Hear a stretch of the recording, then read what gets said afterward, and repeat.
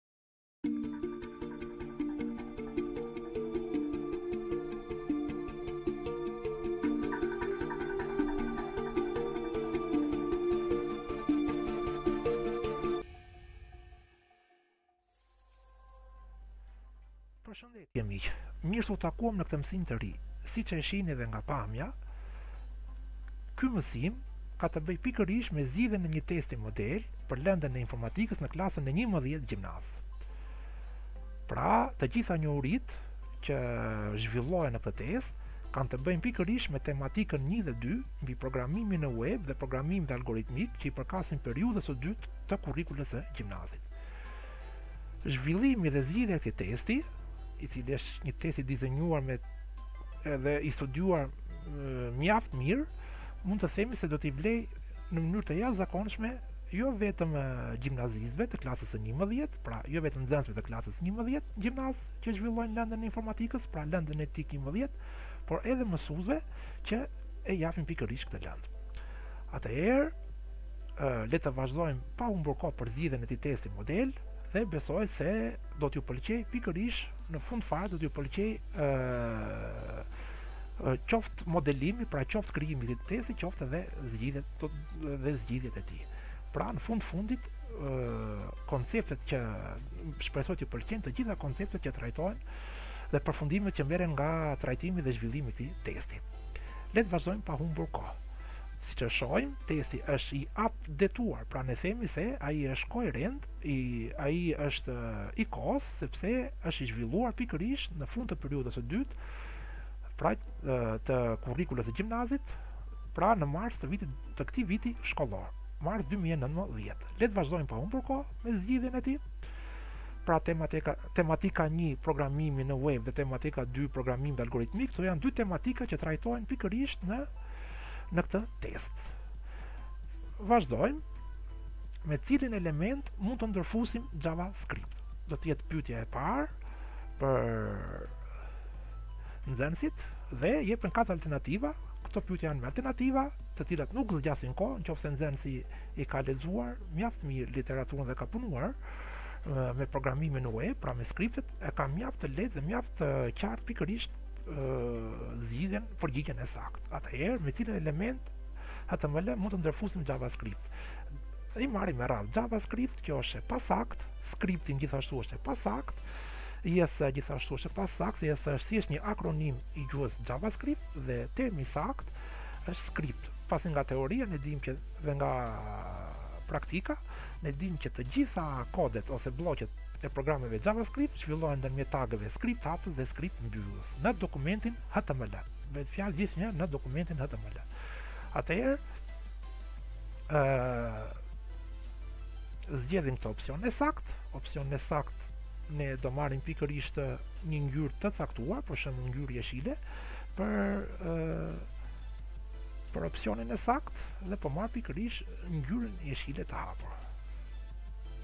Pra ky është opsioni i saktë. Besoj se është e qartë. Kalojmë te pyetja e dytë, si krijohet një funksion, për shembull me emrin, funksioni im, pak a shumë unë duke dhënë pyetjen, është dhënë dhe përgjigja, por gjithsesi jepen katër alternativat e sakta, pra si krijohet një funksion, për shembull me emrin funksioni im, me dy klapa rrethore në JavaScript, atëherë nga këto katër alternativa, function, funksioni im, function dy funksioni im me dy klapa rrethore function baraz funksioni im të tre këto alternativat që neve sapo i pam janë të pasakta sintaksa gjithnjë një funksion kryesisht në programim kështu ndodh, një funksion deklarohet me fjalën kyçe function, emrin e funksionit që është pikërisht ky, funksioni im, i pasuar këtu me dy klapa rrethore. Ë, pastaj brenda klapave gjarpërushe zhvillohet kodi për funksionin.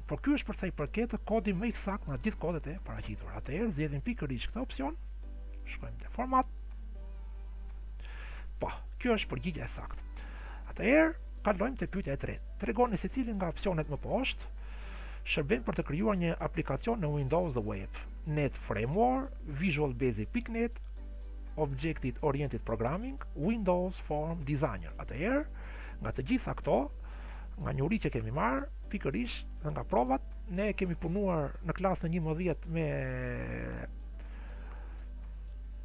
me me Visual Studio Code, pra, të cilin ë ku Visual Basic pikë NET është pikërisht pjesë e paketës Microsoft Visual Studio dhe me anë të këtij programi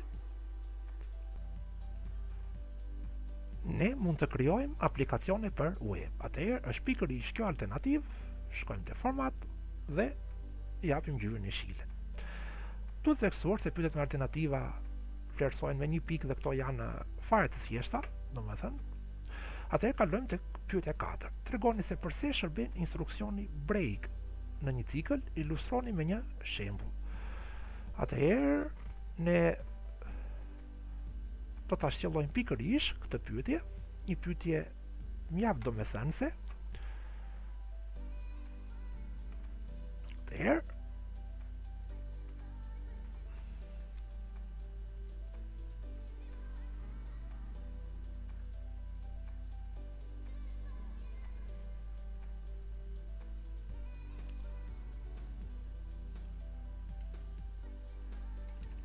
Po, këtu po e lë. Atëherë vazhdojmë, shpjegojmë pikërisht përdorimin e instruksionit break. Për çfarë shërben instruksioni break? Instruksioni break e kemi përdorur kryesisht në ë në si pjesë e domosdoshme e instruksionit switch. Në rastin e cikleve, ky instruksion mundëson daljen nga cikli para se të plotësohet para se të plotësohet kushti i ndalimit. Ne mund të marrim shembuj pa fund, por duhet theksuar që instruksioni break, i pashoqëruar me ndonjë etiketë, mund të përdoret vetëm për të dalë jashtë ciklit. Por, në qoftë se ky instruksion shoqërohet me një etiketë, atëherë instruksioni break mund të përdoret edhe për të dalë jashtë çdo bloku instruksionesh, edhe sikur bloku të mos jetë ciklik. Këto që sapo thashë mund t'i përmbledhim, ne mund të themi që ë ne mund të themi kështu që në mënyrë të shkurtuar mund të themi në rastin në rastin në rastin e cikleve, në rastin e cikleve duhet t'i bëj zgjidhjet me një ngjyrë jeshile. Në fakt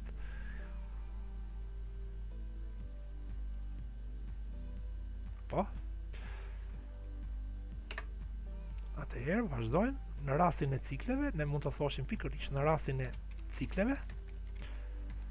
Në rastin e cikleve, ky instruksion ose instruksioni, meqenëse kemi të dhënë, ky instruksion,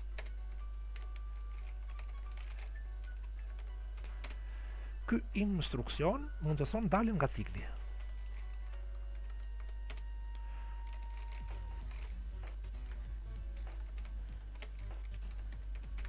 mundëson daljen nga cikli.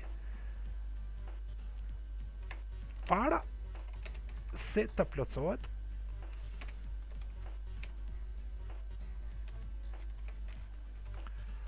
para se të plotësohet kushti i ndalimit.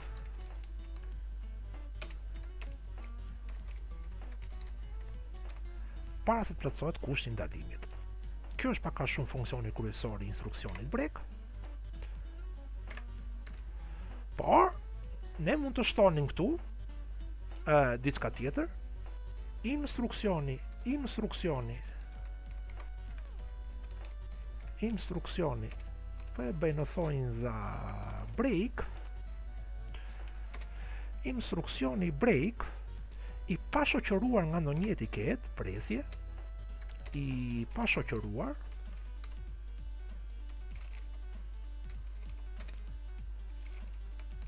nga ndonjë etiketë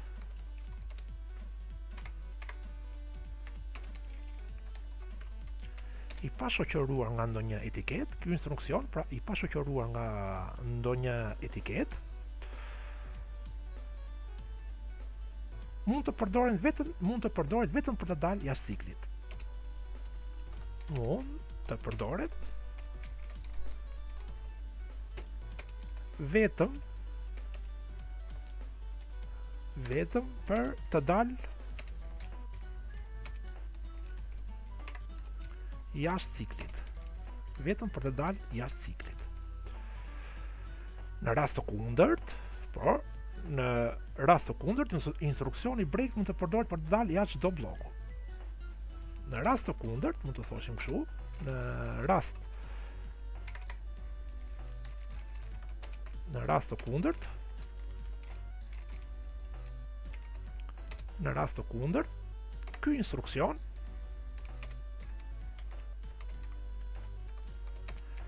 mund të përdoret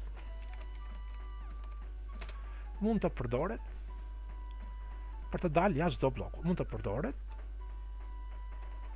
për të dalë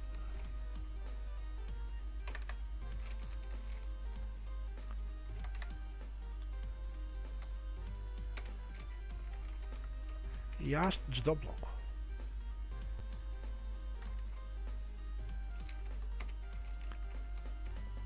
Jashtë çdo blloku Kjo është pak a shumë përgjigja Këtu thuhet ilustroni me një shembull. Ilustrimi me shembull është alternativ. Në varësi të kohës që mund të ketë nxënësi, mund ta ilustrojë me një shembull, por edhe në qoftë se nuk ilustron me një shembull, mjafton vetëm me këtë sqarim, përgjigja është e saktë. Në qoftë se ilustrohet me shembull, është akoma edhe më mirë nxënësi në varësi të kohës, në qoftë se ka kohë, mund ta bëjë këtë gjë duke shkruar në një pas fletës së punës të printuar ose në një vend bosh ku të ketë vend dhe mund të mund të themi pikërisht që është plus për të në qoftë se bën pikërisht sqarimin me anë të një shembulli. Dhe ne me të vërtetë po e marrim një shembull, pa humbur kohë, ne kemi marrë një pjesë boshe këtu.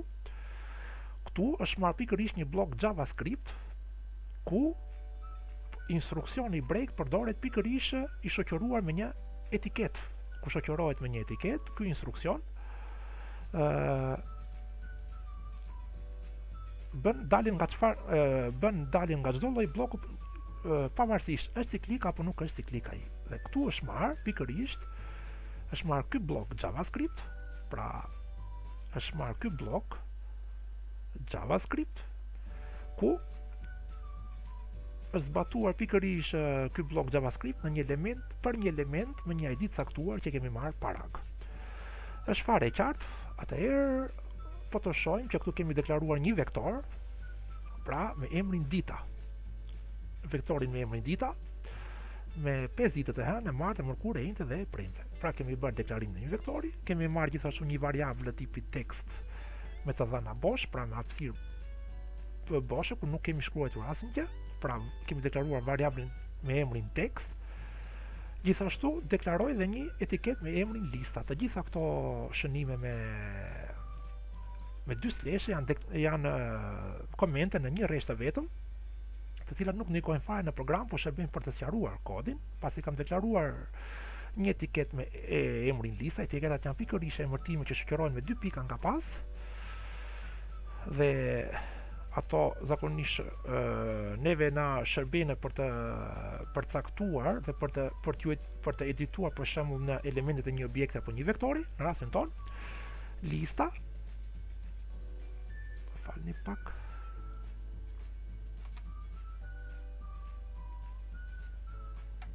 Po, e heqim këtë.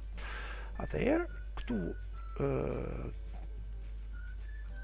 kjo lista etiketa me emrin lista e kemi ndërtuar pikërisht etiket dhe brenda kësaj etikete ku është zhvilluar ne kemi deklaruar pikërisht këto instruksione pra variablit me emrin text neve i kemi shtuar pikërisht i kemi shtuar i kemi i jemi qasur pikërisht jemi qasur një elementi të caktuar të vektorit, pra një anëtari të caktuar të vektorit, i cili ka një indeks të caktuar në rastin ton text plus barazi me dita 0, ne i qasemi pikërisht elementit të parë. Elementi i parë në vektor është ka indeksin 0. Dhe me break kemi kaluar i qasemi çdo elementi deri te elementi i tretë, duke kaluar një rresht më poshtë me break. Ndërkohë me BR më fal, me me tagun BR, po dhe kjo break do të thotë se ne kalojmë një rresht më poshtë në HTML. Atëherë, duke përdorur pikërisht instruksionin break, e shoqëruar kjo me lista, shofim që break është e shoqëruar me etiketën lista, neve këtu themi se dalim nga blloku, pavarësisht se ky është apo nuk është ciklik, ky është një bllok jo ciklik. Këtu thjesht kemi një vektor, ku ne mund t'i qasemi elementeve të këtij vektori nëpërmjet kësaj etikete, por për break e cila shoqërohet nga emri i etiketës lista, ne këtu ndërpritet cikli. Dhe me anë të metodës document get element by id, pra dat get element by id, këtu është emri i identifikatorit, pra i selektorit id, ku me këtë selektor është identifikuar elementi paragraf në HTML.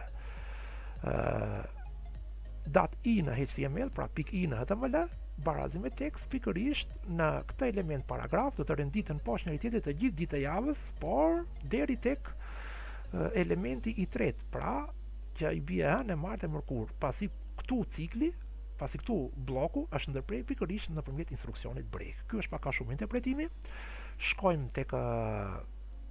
e shohim pikërisht këtë gjë, e shohim pikërisht këtë gjë, tek editori ynë Try It Yourself. Në editorin tonë Try It Yourself në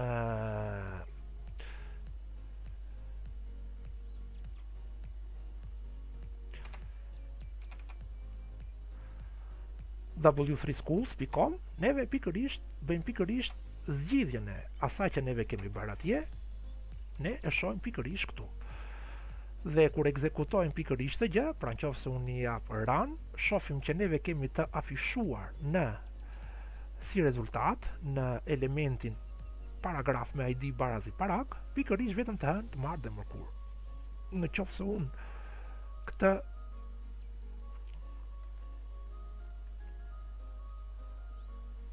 instruksion do ta kaloja një rresht më poshtë, pra poshtë Tekst plus barazim me dita 3, me dita 3 që i përket elementit të katërt të vektorit tonë, pra të enjtjes, atëherë rezultati do të ndryshojë, do të shtohet dhe dita e enjte pikërisht në rezultat. Shofim që ky do të jetë rezultati e hënë e martë e mërkurë. Japim ekzekutojmë run, pra u shtua dhe e enjtja. E premtja nuk del sepse këtu blloku është ndërprerë. Ky bllok është ndërprerë dhe ne çfarë bëjmë? Ne këtu afishojmë pikërisht elementët e një vektori të krijuar. Shohim, shohim, shohim që në këtë dokument HTML blloku ynë JavaScript është vendosur në fund të badit, në fund të badit dhe në këtë dokument HTML ne mund të ne kemi zhvilluar një kod në JavaScript ku ne kemi deklaruar një vektor me emrin dita apo var dita, vektori është e qartë si deklarohet në JavaScript nëpërmjet dy kllapave katrore, ku çdo anëtar i tij ndahet me një presje, përveç anëtarit fundit dhe në rastin tonë këto të dhëna këtu janë të tipit string, themi të dhëna të tipit string. Pra këtu kemi bërë deklarimin e një vektori, kemi deklaruar gjithashtu një variabël tjetër të, e, me emrin tekst, ku e kemi lënë bosh, deklaroj pikërisht dhe etiketën dhe në zhvillimin e kësaj etikete, unë pikërisht kam vendosur instruksionin break pas rreshtit të katërt që i bie elementit pra elementit me indeks 3 të, të vektorit ose antarit me indeks 3 të vektorit kemi ndërprerë pikërisht këtë bllok me instruksionin break është e qartë pikërisht ky shembull atëherë kaloj tek pyetja tjetër ne nuk po bëjmë vetëm një zgjidhje për atë që i ka të qarta ne po bëjmë një shpjegim të zgjidhjes Pra, duhet theksuar që koha që ne po harxhojmë për shpjegimin nuk duhet të llogaritet në në kohën e zgjidhjes së testit, sepse koha e zgjidhjes së testit është do është normalisht është më e shkurtër për një person që i di dhe është mjaft e qartë kjo gjë.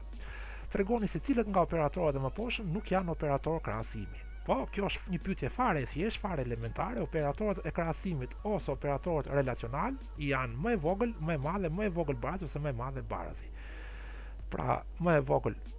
Pra, është operator krahasimi, pra nuk është e vërtetë kjo gjë. Atëherë, yll është operator aritmetik. Atëherë, meqenëse ky është një operator aritmetik, unë do ta bëj me jeshile, këtu do të kemi më shumë se një alternativë të saktë për faktin e thjeshtë sepse pyetja është cilët.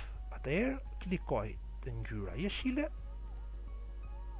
Po ashtu Edhe operatori or nuk është është operator logjik, pra nuk është operator krahasimi, ndërsa operatori më e madhe barazi është një operator krahasimi. Pra, operatori yll dhe operatori or janë të, nuk janë operatorë krahasimi. Kjo është përgjigja e saktë. Shkojmë tek ë pyetja 6 që është një ushtrim, jepet kodi burimor i një faqe interneti apo dokumenti HTML si mund dokumenti HTML është njëjta gjë si më poshtë. Kemi thënë që kryesisht faqet internetit janë në formatin.html dhe kodi burimor është pikërisht një dokument HTML. Atëherë në këtë dokument HTML, i cili është i paplotësuar, ne do ta plotësojmë. Do t'i marrim pyetjet me radhë. Në krahun e majtë kemi kodin burimor, në krahun e djathtë kemi një bllok pyetjesh ku duan plotësuar hap pas hapi njëra pas tjetrës. Atëherë marrim pikërisht pyetjen e parë, plotësoni vendet bosh me vija për taget në dokumentin HTML të dhënë. Atëherë shohim që çdo dokument HTML mirë është të niset me tipin e deklarimit doctype HTML Me një pikëçuditëse, ky është tipi i deklarimit të dokumentit tonë HTML, standardi i fundit në HTML 5-s. HTML hapës, pra HTML hapës, në head section, ky është seksioni head. Ne këtu shohim që kemi një selektor, dhe ky është selektori ID, sepse çdo selektor ID në stilet në stilizimin e brendshëm ka shenjën thurje. Pra ne këtu kemi një kemi një metodë stilimi, kemi stile të caktuara, Por, këto stile janë të vendosur pikërisht në head section, midis head hapës dhe head mbyllës. Kur kemi stile të zbatuar pikërisht në seksionin head section të një dokumenti HTML apo të kokës së një dokumenti HTML, kjo gjë realizohet pikërisht ndërmjet style hapës dhe style mbyllës. Atëherë këtu do vendosim style. Atëherë shkruajmë këtu style. Style hapës, ndërsa këtu në fund gjithashtu do kemi style mbyllës. Atëherë, style mbyllës.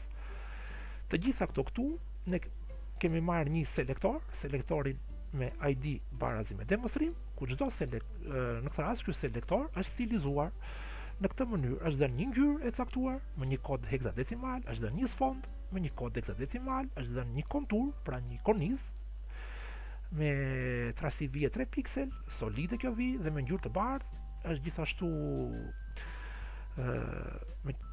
është një një gjerësi elementi, pra sipas drejtimit horizontal, pra jo sipas lartësisë, por sipas gjerësisë është 80%. Uh, width 80% dhe margin auto që na tregon pikërisht një metodë, është një metodë të qendërzimit të këtij elementi. Pra ky element do vendoset pikërisht në qendër, ku është vendosur pikërisht gjerësia. Dhe kur është vendosur dhe stili margin auto, të dyja këto stile, pra kur width 80% dhe e shoqëruar kjo me margin auto, na çon elementin ku do të zbatohet pikërisht kjo ID, ky selektor ID në atë element do të çojë këtë element në qendër, të pozicionuar në qendër. Uh, padding ka të bëjë me hapësirat boshe, rreth e qark hapësirat boshe ndërmjet përmbajtjes së një elementi dhe konturit të tij. dhe është një em, ndërkohë që font, font, është lënë një vend bosh, pik, dy pika, dy em. Me një na vete mendja që do jetë madhësi shkrimi, sepse kemi një madhësi relative shkrimi, ku do thoshim font size, font size, sepse kemi njësi matëse të madhësisë së shkrimit zakonisht, madhësia e shkrimit shprehet me këtë mënyrë, o në përqindje, o me em, o me piksel, ku në rasin tonë em-ja është një madhësi relative.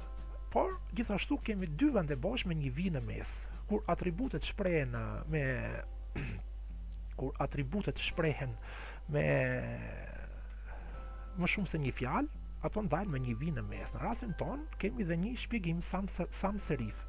Sans serif është një lloj shkrimi. Dhe ne na vete që pikërisht ky stil ka të bëjë me llojin e shkrimit. Dhe lloji i shkrimit shprehet pikërisht me atributin font family. Pra font family. Font family. Font family. Pra, kjo do jetë, kjo do jetë opsioni i saktë, dhe këtu kemi gjithashtu një center që ka të bëjë me pozicionimin. Kemi dhe atri, uh, fjalën e parë të, uh, vetisë, pra të properties, ne kemi text. Atëherë, kjo do jetë e shoqëruar, kur kemi të bëjmë me pozicionim, text align. text text align 2 pika center pra kjo këto janë font family sans serif text align center pjesa e parë pra plotësoni taget në vendet bosh me vija për tag në dokumentin HTML, atëherë kemi gjithashtu dhe tage të tjera, çdo element përshkruhet kryesisht nëpërmjet tageve çift hapës dhe mbyllës. Në rastin tonë këtu është dhënë tagu hapës H3, është dhënë përmbajtja e këtij elementi që është një titull. ë pra në paragrafin më poshtë kryhet llogaritja e shumës të prodhimit të ndryshoreve i, j të cilat janë variabla kontrolluese të strukturave ciklike for përkatëse ku i është më e madhe baras me 1 dhe më e vogël baras me 3. H3 që do jetë shoqëruar me një tag mbyllës. Ja ku e kemi tagun mbyllës, H3 hapës, gjithashtu dhe këtu do kemi H3. Paragrafi Paragrafi, kemi një ID ku është lënë me vendin bosh. Menjëherë të shkon në mendjen, në mendje, meqënëse ne këtu kemi një ID të deklaruar dhe të stiluar, atëherë si ID e këtij paragrafi do të shërbejë pikërisht demonstrim. Që paragrafi të jetë i stiluar, ai duhet të ky do zbatojmë pikërisht një stil të brendshëm. Një stil të brendshëm. dhe stili i tij do të realizohet pikërisht nëpërmjet ID-së. Ne mund të thoshim paragraf ID barazi me demonstrim. Demonstrim. Sepse në rastin tonë e kemi më të thjeshtë sepse në në style hapës dhe style mbyllës ne kemi vetëm një ID të deklaruar, të stiluar. ë uh, Shohim që këtu kemi një bllok JavaScript. Të gjitha ato këtu inicializohet vlera fillestare e variablit shuma, unaza e jashtme, unaza e brendshme etj etj. Të gjitha këto janë komente që na shërbejnë për të shpjeguar kodin. Pa kaluar në këtë, ne mund të themi se pyetja e parë A-ja, pika A është ezauruar sepse janë plotësuar vendet bosh për taget. Tani ne do plotësojmë vendet bosh, a këtu kemi body, edhe këtu një dokument HTML, do të mbarojë pikërisht me HTML hapës Një dokument HTML, HTML mbyllës do jetë pikërisht mbyllja e tij. Këtu do kemi blloqe JavaScript, por kjo do i përkasë pyetjes tjetër. Atëherë tregoni elementin apo elementet ku është zbatuar metoda e stilimit e brendshme, internal, dhe shohim që pikërisht kjo metodë stilimi e brendshme do të jetë e zbatuar pikërisht në elementin paragraf, sepse paragrafi është identifikuar me ID demonstrim. Këtu kemi një selektor ndërmjet style hapës dhe style mbyllës, pra kemi stilizim të brendshëm. Atëherë, në elementin paragraf, elementi paragraf është stiluar në mënyrë të brendshme, themi ne me internal style sheet, unë këtu i fshij këto dhe mund të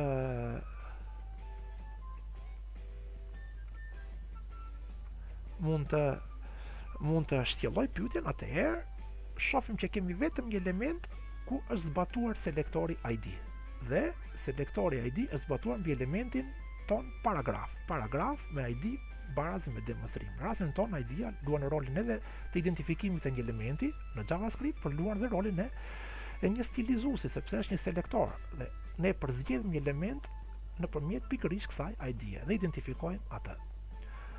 Atëherë, ne mund të thoshim që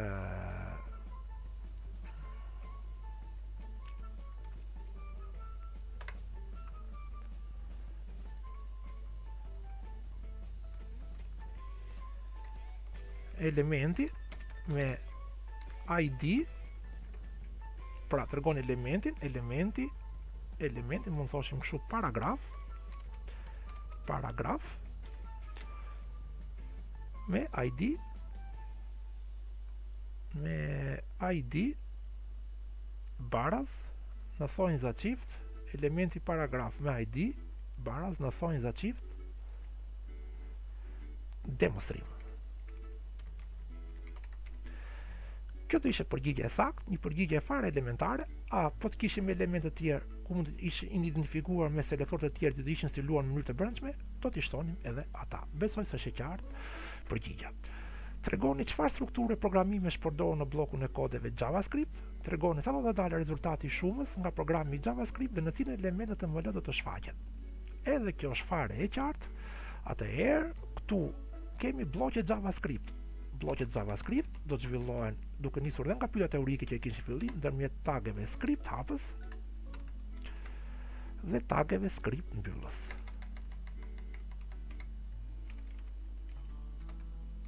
tageve script hapës dhe tageve script mbyllës.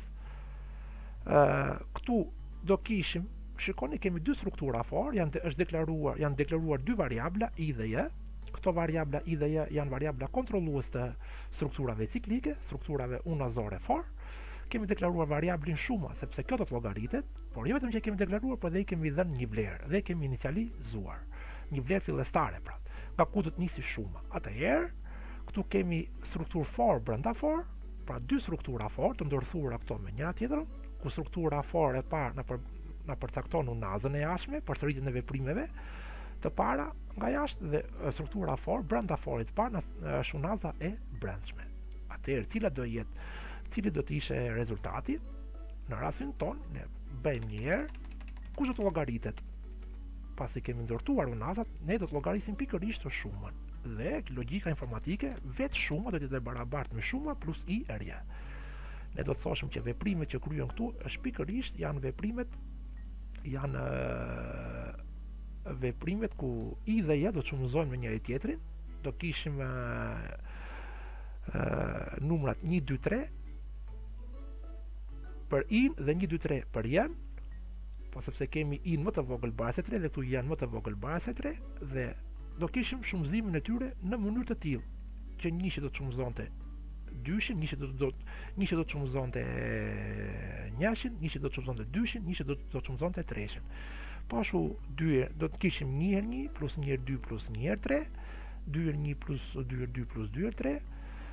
3 herë 1 plus 3 herë 2 plus 3 herë 3. Kjo do të ishte përgjigja.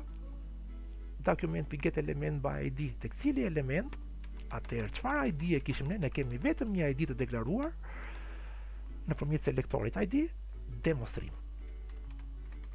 Demonstrim. Kjo do jetë ID-ja dhe ne me anë të kësaj metode afishuese, ne nxjerrim pikërisht rezultatin në elementin tonë paragraf, Dhe cili do jetë ky rezultat? Do të jetë pikërisht rezultati shuma. Dhe këtu do, do të shkruheshe shuma.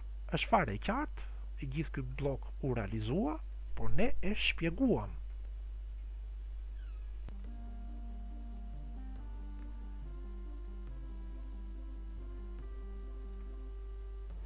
Pra përgjigjja e saktë do të ishte, do të ishte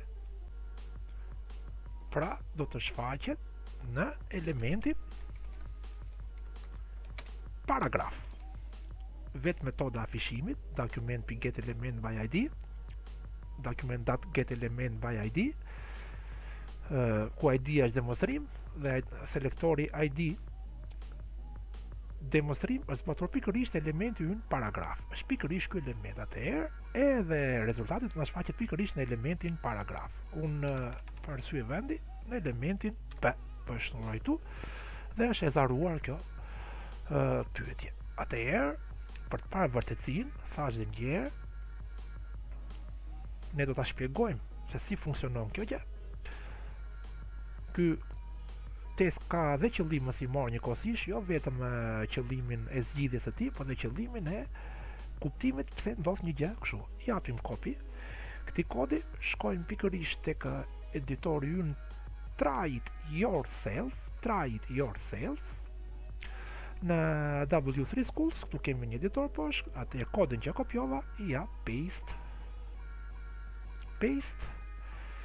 Ky do jetë kodi, shohim që kodi del me ngjyra dhe themi se kemi bërë një plotësim të saktë, shohim outputin, pra rezultatin kur ekzekutohet në shfletues. Run, ekzekutojmë. Po, Ky është outputi, shohim që ky është outputi dhe rezultati është 36. Elementi paragrafi ynë që është formatuar dhe stiluar është pikërisht ky këtu. Është e qartë ajo që dua të them dhe nuk ka nevojë më për shpjegim. Këtu kemi një nëntitull, pra një H2, H2 që strukturat e kontrollit të cikleve JavaScript, kemi një vijë horizontale të ndara këto me breke, pastaj kemi përsëri një nëntitull H3 Pra, në paragrafin më poshtë kryhet llogaritja e shumës së prodhimit të dy ndryshoreve i, j, të cilat janë variablat kontrolluese të strukturave ciklike for, përkatëse dhe ku i dhe j është më e madhe baraz se një dhe më e vogël baraz se tre. Në një farë mënyre, po të lexoje mirë ushtrimin, ai vetë ky në titull ta tregon zgjidhjen. Pra, duhet të kishe të qartë vetëm strukturat for. Si funksionon struktura for? Struktura for kryesisht përbehet nga hapat kryesorë të inicializimit të variablit fillestar, testit logjik në rastin tonë i është më e vogël baraz se 3 dhe me sa ndryshon variabli i unazës. I-ja ndryshon me një më shumë. I plus plus është e barabartë me i plus një. Por, këtu kemi dy struktura for njëra pas tjetrës. Kjo ishte kleçka. Ky është rezultati, outputi 36, elementi paragrafi ynë i stiluar është ky sipas selektorit ID, teksti me këto atribute dhe kjo është faqja jonë e cila do na dali. Mirë. kalojmë tek ushtrimi tjetër pa humbur kohë. Ë uh, ushtrimi tjetër në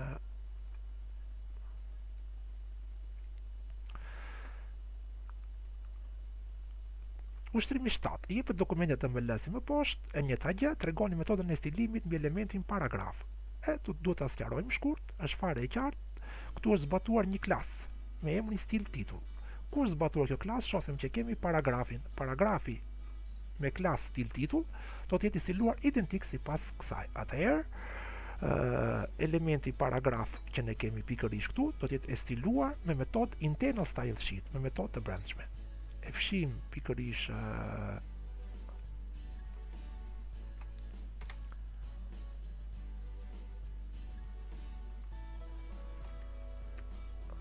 atë pjesë dhe shkruajmë pikërisht zgjidhjet me ngjyrë jeshile, ne themi që elementi elementi paragraf paragraf po elementi paragraf mund ta fshija fare dhe këtë po elementi paragraf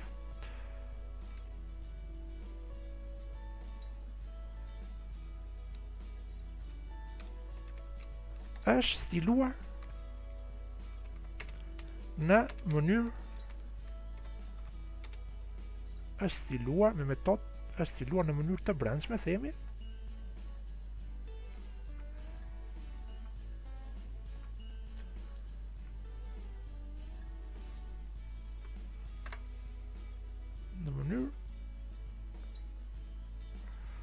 Të brendshme Të brendshme mund të thoshim Edhe me terma shkencor Internal Style Sheet Internal Style Sheet Me, me metod të brendshme Internal Style Sheet Sepse Mbi të është zbatuar stili, është zbatuar selektori, është zbatuar selektori, selektori, klas, barazim me, Klas barazim me stil titull. Kjo është pak a shumë barazim me stil titull. Stil titull. Besoj se është e qartë. Kjo është pak a shumë përgjigja. Pra pyetja e parë, ku do të shohim Po, stil titull, ja ku kemi selektorin klasë, i cili ndodhet ndërmjet style hapës dhe style mbyllës, e njëta logjikë si më sipër. Shkruani kodin JavaScript në vendin bosh me vija të një funksioni që njehson hipotenuzën e një trekëndëshi kënddrejtë, kur dihen dy katetet e tij. Pra, menjëherë të vete mendja që ne do të deklarojmë dy variabla për dy katetet, do t'i deklarojmë këto variabla dhe do t'i deklarojmë me vlera. Rezultati për hipotenuzën të dalë 5. Kur na jepet rezultati, ne do kemi një funksion llogaritës, atëherë cila është mënyra e thirrjes së funksionit në JavaScript? Do ta sqarojmë shkurt. Ne kemi dhe një udhëzim, sintaksa e funksionit të llogaritjes së rrënjës katrore në JavaScript është mathematics, pra math, dot, ose në pikë sqrt, e kjo njehson rrënjën katrore, është një funksion matematikor në JavaScript që bën të mundur njehsimin e rrënjës katrore të një shprehje të caktuar, dhe këtu do jetë shprehja. Por, besoj se ky ushtrim është i qartë, le ta shtjellojmë, le ta shtjellojmë më mirë, atëherë, le të vazhdojmë,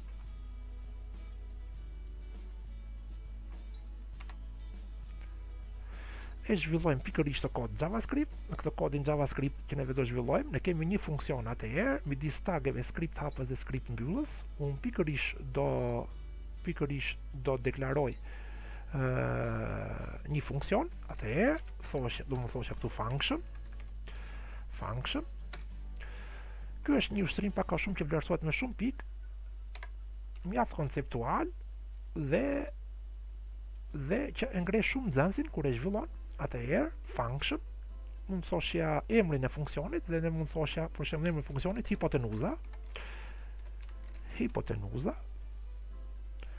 pasi kam bërë këtë gjë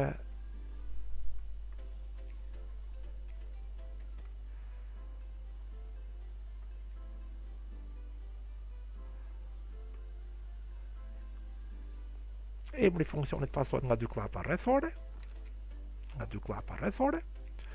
Ë, pasi kam ë deklaruar funksionin ashtu siç duhet sipas sintaksës, hapim dy kllapa gjarpërushe dhe midis kllapave gjarpërushe zhvilloj pikërisht kodin e funksionit tonë. Atëherë zhvilloj pikërisht këtë funksion dhe funksioni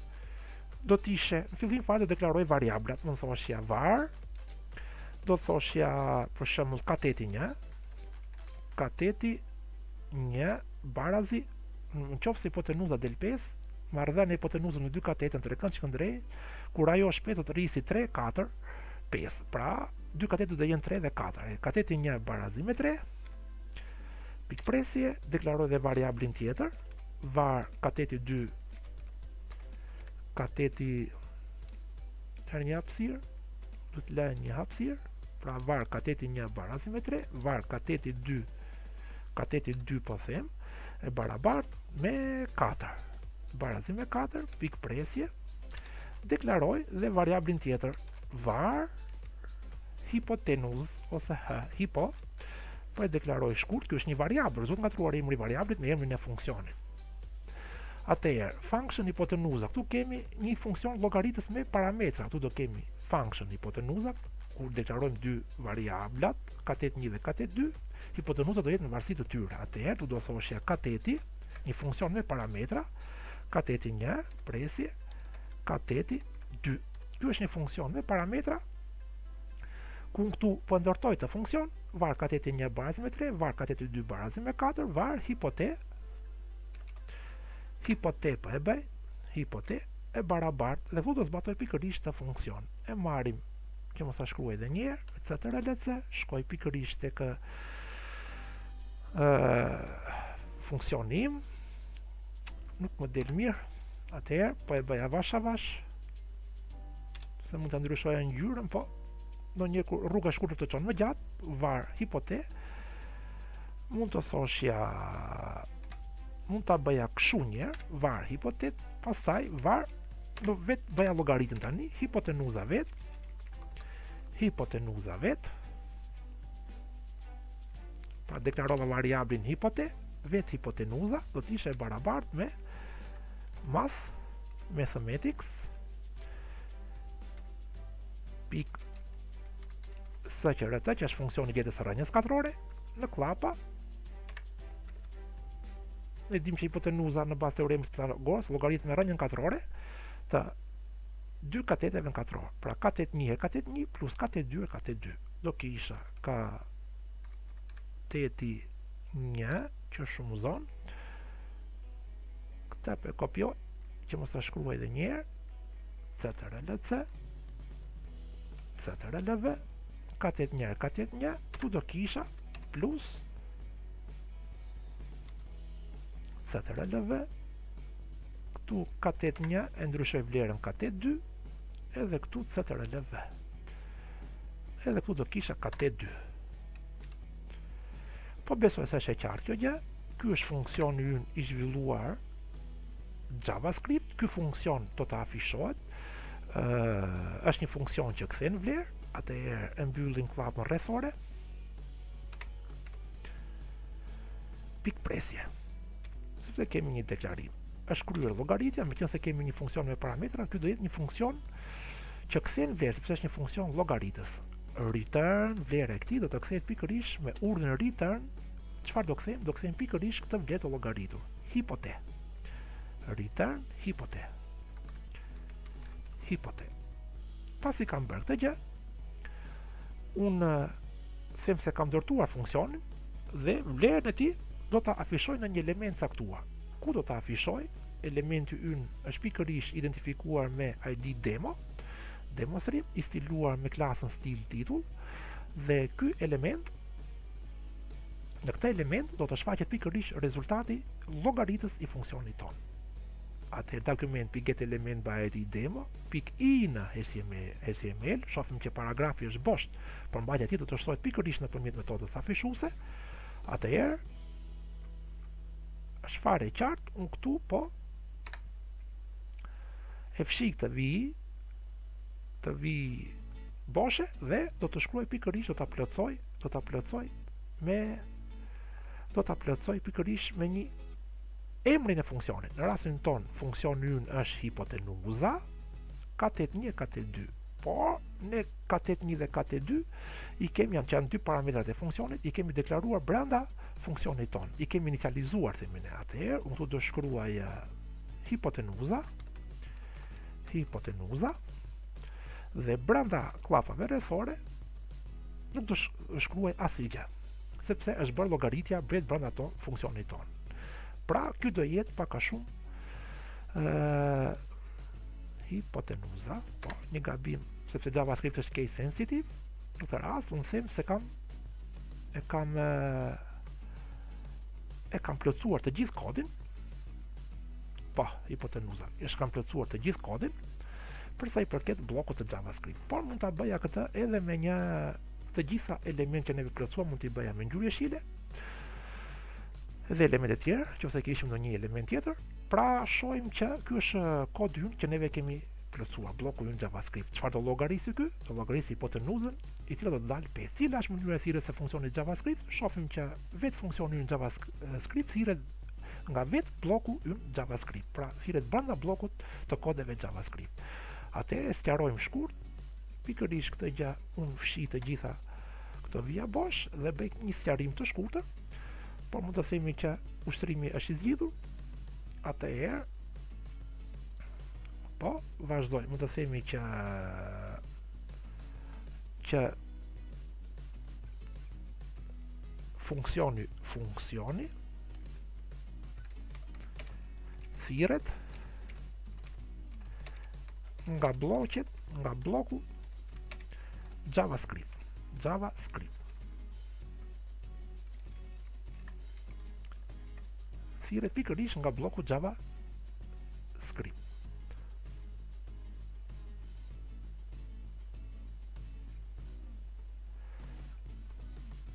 Ky do jetë pak a shumë, pra ne kemi bërë edhe pikën B.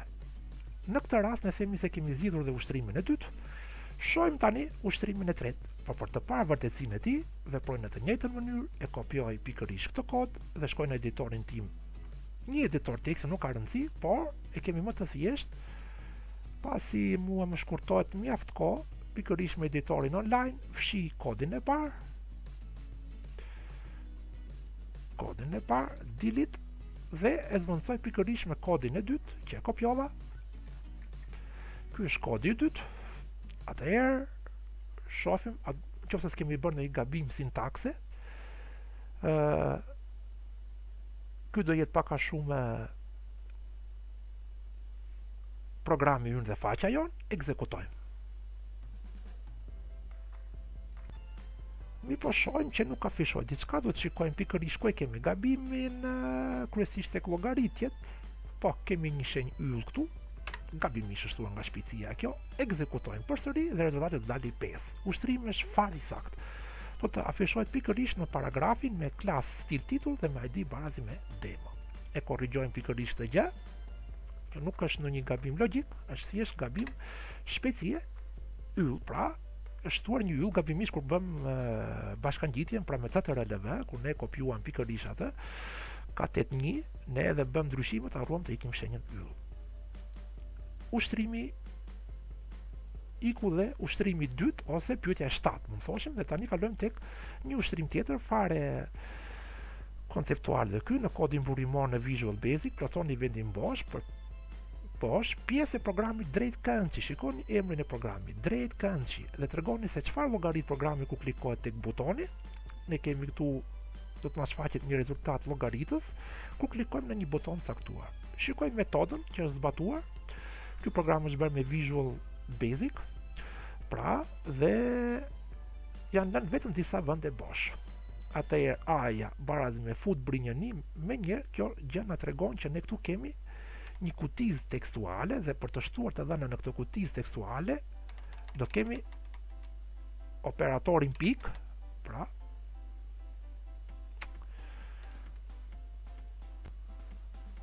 Pra do kemi operatorin dot pikë me prapashtesën text. Dhe këtu do kemi pikërisht prapashtesën text. Pra pikë text pikë text, text me T të madhe. E njëjta gjë dhe te brinja B. Janë deklaruar dy variabla dhe të gjitha variablat në Visual Basic deklarohen pikërisht me fjalën kyçe Dim. Pra kemi deklaruar variablat A, B dhe C. Si numra të vetëm, pra As Single. Atëherë, pasi kam bërë këtë gjë, e kam shprehur pikërisht variablin a me vlerën që do të fus pikërisht në kutizën tekstuale me emrin fut brinjën 1 kjo kutizë tekstuale ka emrin fut brinjën 1 pikë tekst dhe këtu do kemi gjithashtu pikë tekst e njëjta gjë dhe për dhe për tjetrën. Pasi kam bërë këtë gjë, kemi krijuar gjithashtu një një etiketë. Etiketë ku do të afishohet rezultati ynë me emrin label 3 llogaritje. Pikë tekst sa do dalë kjo? Atëherë çfarë do shfaqet pikërisht te kjo etiketë? Do të shfaqet rezultati ynë. C. Çfarë llogarit ky rezultat?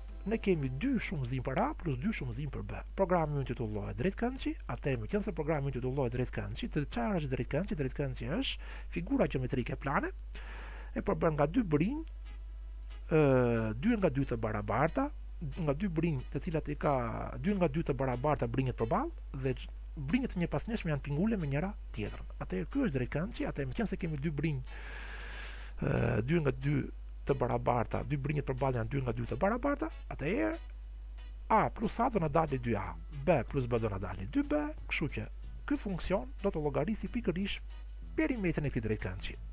Dhe meqenëse llogarit perimetrin, ku do dalë ky rezultat afishues pikërisht tek label 3 llogaritje pikë text. Baraz, këtu do dilte cila cila në cilin variabël cili është variabli ku kryhet llogaritja është pikërisht variabli C. Në label 3 llogaritje pikë text do të afishohet pikërisht rezultati C. Dhe këtu e kemi plotësuar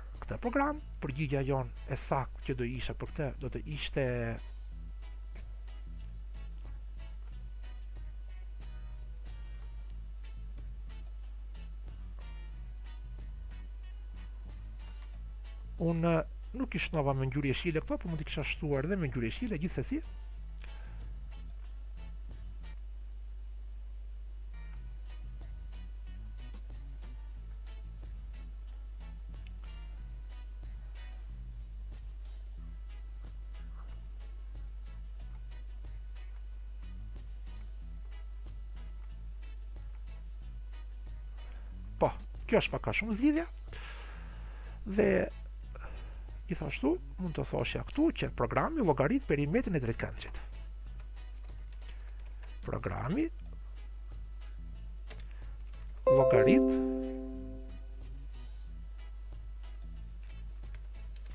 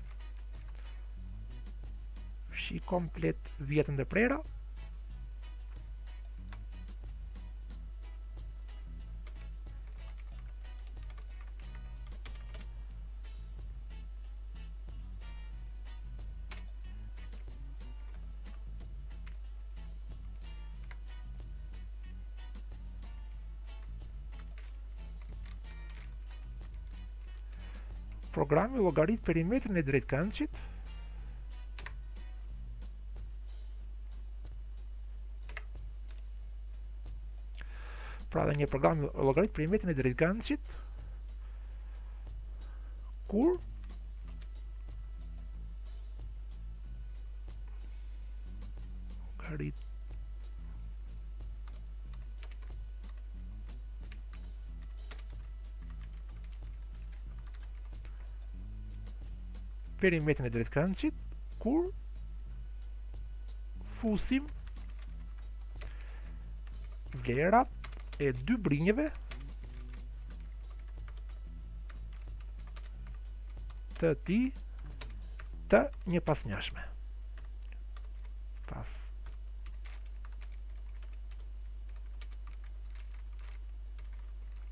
nga tastiera. Besoj se është e qartë, pra kjo do ishte, ky do ishte ushtrimi i plotë, i plotësuar në këtë mënyrë.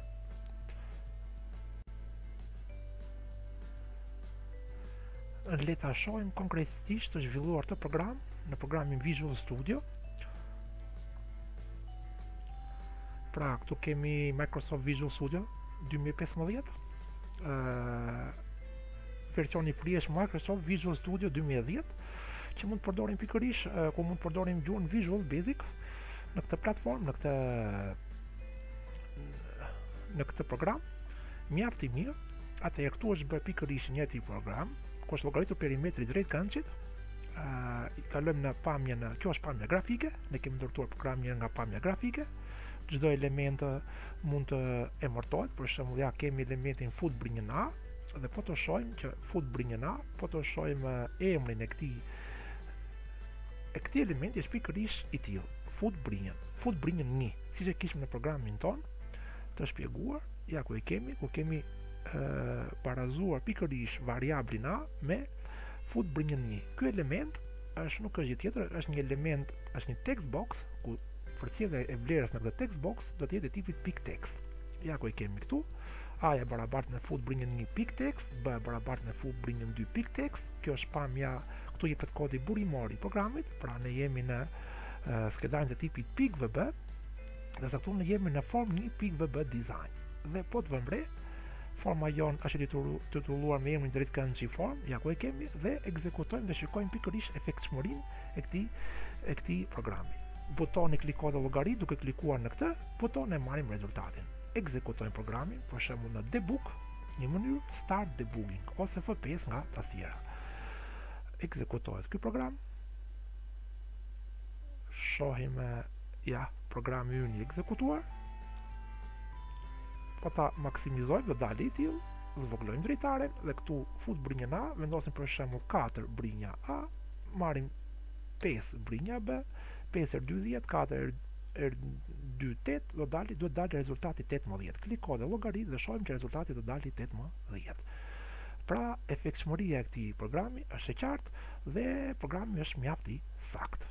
Kjo ishte për sa i përket programit tonë pyetjes së 8. Ne theksojmë që ne kemi të gatshëm programin këtu, thjesht plotësim vendesh, duke ecur me logjikën. Por, aty është ndërtuar në mënyrë të plotë programi si nga pamja grafike, ashtu dhe nga pamja e programore e tij, pra nga ana e programimit e tij. Kjo ishte për sa i përket programit tonë, programit tonë që ka që kishte të bënte me pyetjen e 8, pyetjen e parafundit dhe pyetja 9, që është një pyetje teorike, trego rolin dhe shkruaj sintaksën e një funksioni në JavaScript. Shkruani pas fletës, ne e kemi zhvilluar këtë këtë program e kemi zhvilluar në një fletë tjetër bosh, trajtë elektronike. Pra më poshtë, eci më poshtë.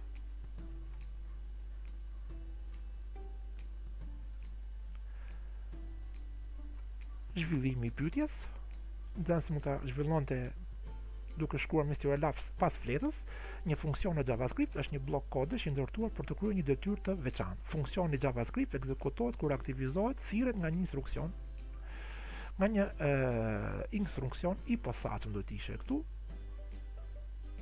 kur aktivizohet, po, nga një instruksion i posaçëm,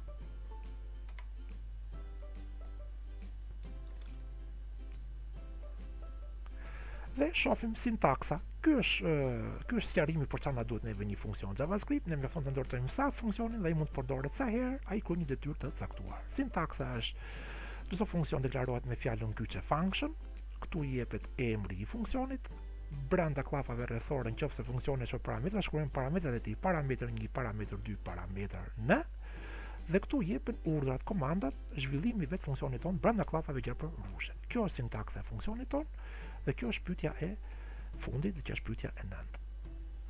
Një test mund të themi i dizenjuar dhe i hartuar në një mënyrë mjaft të mirë dhe ky është edhe testi i plotë dhe zhvillimi i tij. Mirupafshim, mirë u takofshim në mësimet e tjera dhe në zhvillimin e testeve të tjera.